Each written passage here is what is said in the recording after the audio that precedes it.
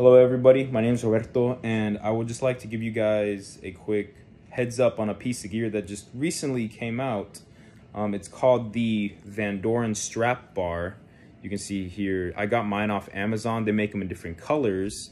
And what it does is it actually distributes the weight of the, or excuse me, it distributes the pressure of the neck strap more evenly across your neck rather than choking you. Um, this was just a Protec neck strap that I got and it was really narrow. And whenever I played my vintage Conn alto saxophone, um, it was really constricting to play because if you may know if you have one, um, that the strap hook is a little bit higher than it would be on a modern horn.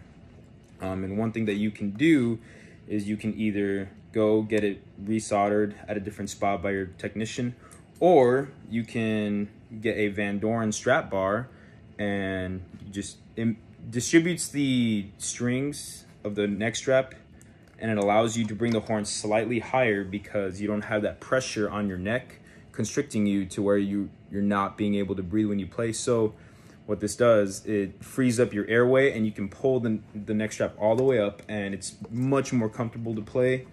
Um, I actually if you can see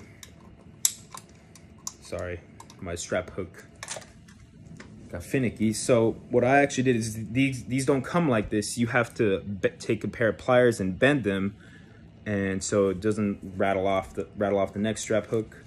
Um, and so it just stays in place and I don't have to take it off and it's a great investment. It's 15 bucks, I think. Uh, someone correct me if I'm wrong, but super worth it, especially if you have these altos. Um, they get a little difficult to play when you don't have a good air support. So I highly recommend them.